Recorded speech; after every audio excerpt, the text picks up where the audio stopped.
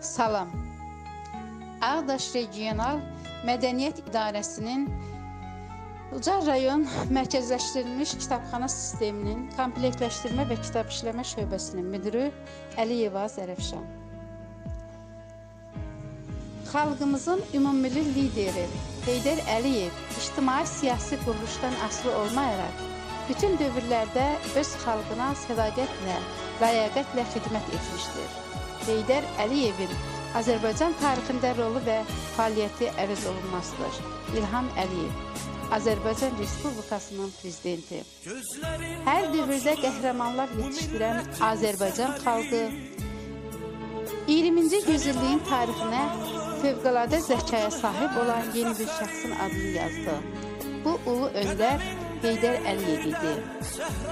Mən sən boyda dağ zirvəsi tanımıram. Uca dağın ucasısan, zirvələrin zirvəsisən. Sənin kimi tarixlərdə yer əvəzi, göy əvəzi tanımıram. Mənim uca tariximdə zirvələrin zirvəsisən. Hər il, hər ay, hər gün tarix boyu meydandasan. Millətimin ürəyində nəsil-nəsil göyərən ilk məhəbbətsən.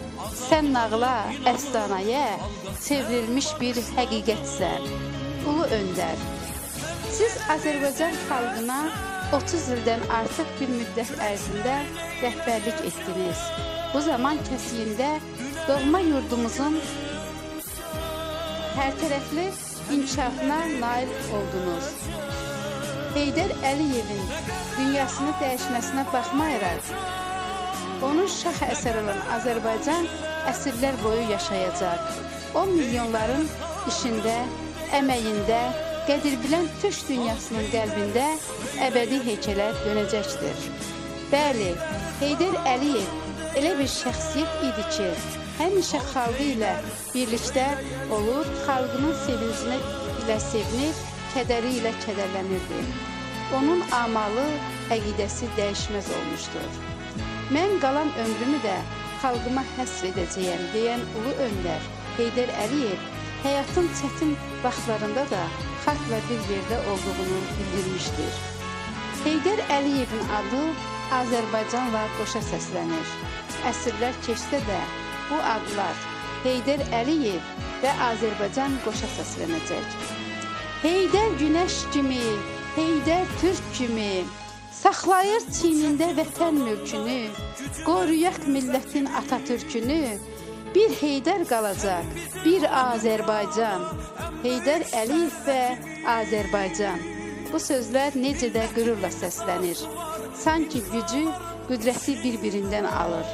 Zaman keçdikcə Heydər Əliyev və Azərbaycan adlarının işığı daha gür parlayacaq və daha böyük məka məkanı işıqlandıracaq. Vətən keşiyində mətin dayandın, özünü meydanda bir əskər sandın. Addımın inamlı, hər sözün qəti, irəli apardın sən bu milləti. Heydər Əliyev fonemini İlham Əliyev fonemini ilə yaşayır. Xalqımızı qətiyyətli addımlarla gələcəyə doğru aparır.